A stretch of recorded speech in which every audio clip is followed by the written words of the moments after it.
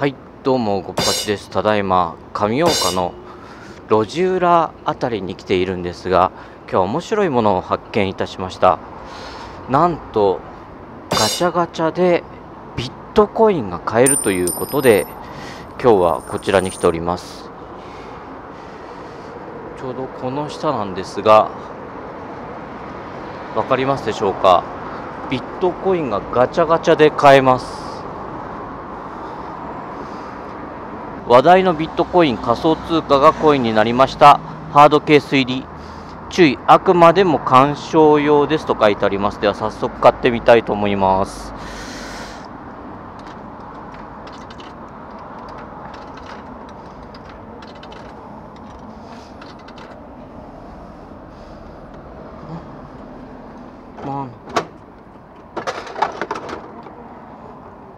出てきた。トコインが出てきました。ビットコインが出てきました。400円のビットコイン。え？ちょっとちょっとどうなんだ？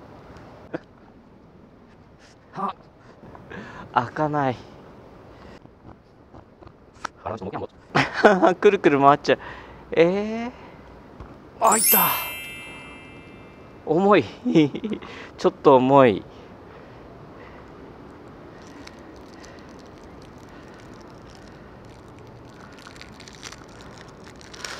重厚感ありますね。うわ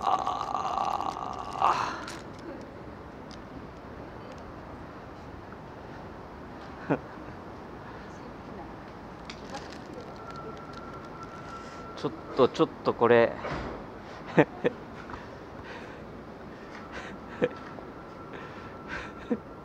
ビットコイン。わかりますかねこれ。ビットコインが 400円で。うーん。表裏どっちかわからないんですけど。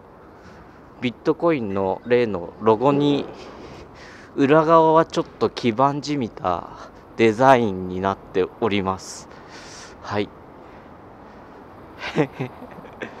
そんな感じですね。ちょっと裏路地入っちゃおう。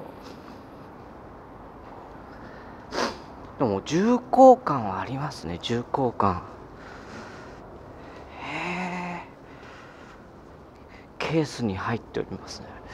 これいくらする？これちょっとコインの売買屋さんで いくらになるか確認したいですね。やべえ。鑑賞用とはいえ結構重厚感あります。